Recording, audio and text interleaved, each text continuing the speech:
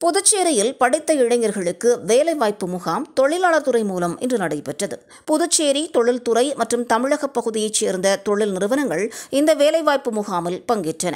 காலையிலிருந்து நூற்றுக்கும் மேற்பட்ட மாணவர்கள் தாங்கள் படித்த படிப்பிற்கு வேலைகளை தேர்வு செய்ய வேலைவாய்ப்பு முகாமிற்கு வருகை தந்திருந்தனர்.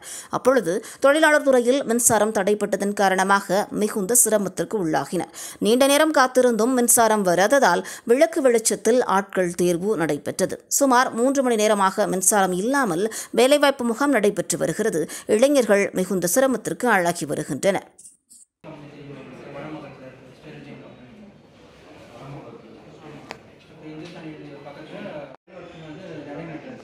எங்கள் கம்பெனி பார்த்தீங்கன்னா அது வந்து டேப்லெட் கேப்சர் பண்ணுறோம் ஓகே அது எக்ஸ்பீரியன்ஸ்